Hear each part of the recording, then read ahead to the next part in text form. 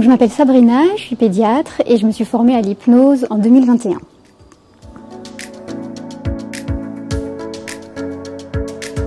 moi j'aime l'hypnose pour plusieurs raisons. Euh, la première, c'est que c'est un processus naturel. C'est une capacité que possède chaque individu.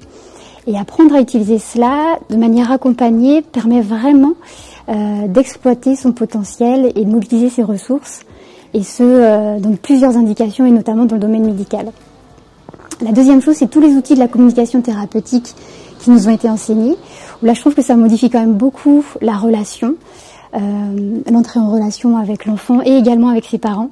Je trouve que c'est une relation beaucoup plus juste, adaptée, précise et, euh, qui répond aux besoins, euh, aux besoins de l'enfant ou de ses parents. Et la troisième chose, c'est plus dans l'hypnose formelle cette fois-ci, parce que l'enfant il est acteur dans le soin et il y a une co-construction du soin quelque chose qui euh, fait appel à l'imaginaire et la créativité. Et ça, ça permet de créer justement une, expérience qui est toujours unique. Pour mes patients, donc l'enfant il est acteur dans le soin. Euh, donc il vient pour euh, surmonter un problème ou une difficulté. Et moi mon rôle ça va être de l'accompagner, de l'accompagner à, trouver sa propre solution.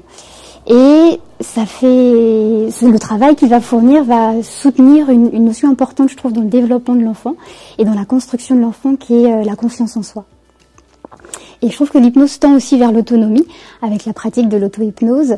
Et euh, c'est également une notion euh, dans la construction de l'individu qui, qui, est très importante parce que l'enfant grandit, se développe, se construit et tend à devenir un adulte autonome.